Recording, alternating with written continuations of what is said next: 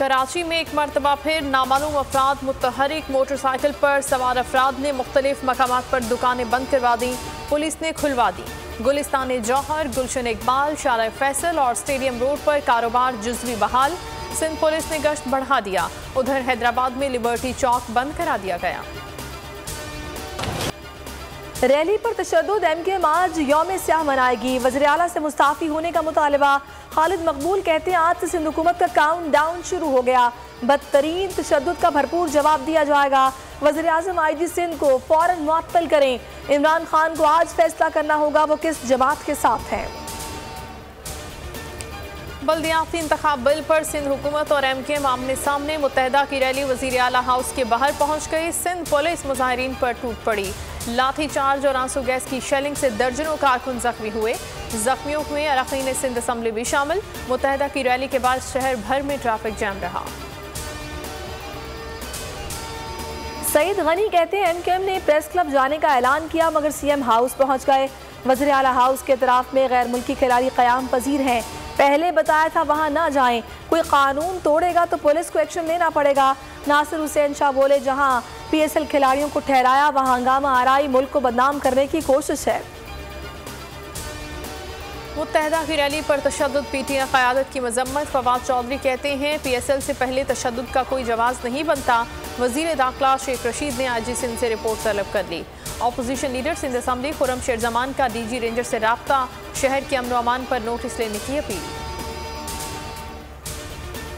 मुल्क का पैसा लूटने वाले इलाज के लिए बैरून मुल्क चले जाते हैं। वज़ीर अजम इमरान खान कहते हैं, पाकिस्तान में अमीर और गरीब के लिए अलग कानून है। बासर लोग खुद को कानून से मावरा रखना चाहते हैं। सेहत कार्ड के इजरा की तकरीब से खिताब ने कहा, जितनी मुहिम उस्मान बुजदार के खिलाफ चली, उतनी किसी वजी अला के खिलाफ नहीं चली। सर्वे आया तो उस्मान बुजदार सबसे ज़्यादा कामयाब वजी अला बन गए। सत्ताईस फरवरी को निकलकर इस्लामाबाद में जमा होने वाला कचरा साफ़ करेंगे। बिलावल भुट्टो का ऐलान, कहा, साजिशी अनासर को साजिशें करने दें। हमें अपना काम जारी रखना है। आवाम की खिदमत करनी है, जिदोजहद जारी रखनी है। ऑपोजिशन तेईस मार्च को जलीलो ख्वार होगी। वज़ीर दाखिला शेख रशीद कहते हैं, ये लोग सियासी शिकस्त खाएँगे। इमरान खान सड़कों पर निकला तो वाकई बहुत खतरनाक होगा। वज़ीर अजम और स्टैब्लिशमेंट के ताल्लुक बहुत अच्छे हैं। दोनों एक ही लाइन और लेंथ है। वज़ीर अजम का दौरा चीन कौमी सलामती पॉलिसी, मुल्की दाखिली और सिक्योरिटी सूरत हाल पर गौर के लिए वज़ीर अजम की जेर सदारत अहम इजलास। आर्मी चीफ और D G I S I समेत विफाकी वजरा शरीक हुए। आला अस्करी और सिविल क्यादत ने तजावीज़ दी। दौरा चीन पर मुशावरत हुई।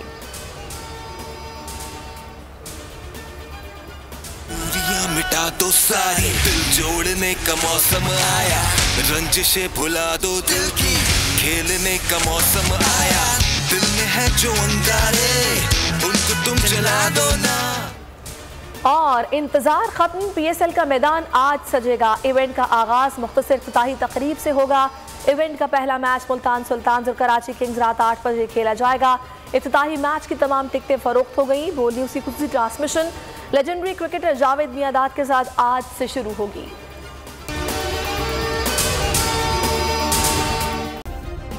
सब्सक्राइब करें और बेल दबाएँ ताकि कोई खबर रह न जाए।